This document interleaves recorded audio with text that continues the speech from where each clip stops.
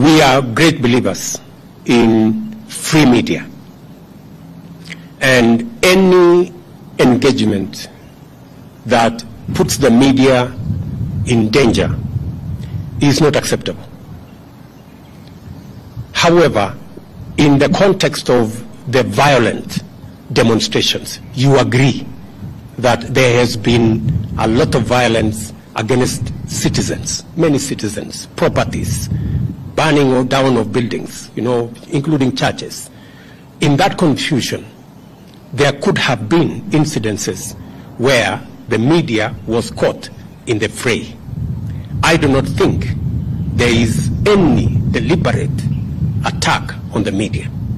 And if there was such deliberate attack on the media, I can tell you we would be opposed to it and we would not support it and we would actually uh, deal with it because we believe that the media should be left to carry out its duties, its uh, broadcasts, irrespective of how unfair they may be.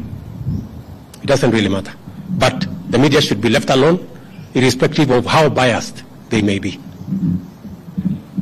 Okay, any other maneno? And just for the record, because I have seen some other people say, oh, maybe the media will be, I don't know what will be switched off. Take it from me. Kenya has come a long way. The eras of the era of uh, switching off, I don't know this or that, that that's way behind us. I have said we will support the right of the media to carry out its function.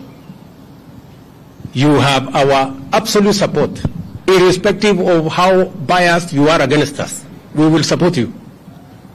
Yeah? We will support you to do whatever it is that you're doing. But uh, I am sure if we exchange positions, if you are standing where I'm standing, you guys would have switched off the media. But us, we will not. Sawa. Asante.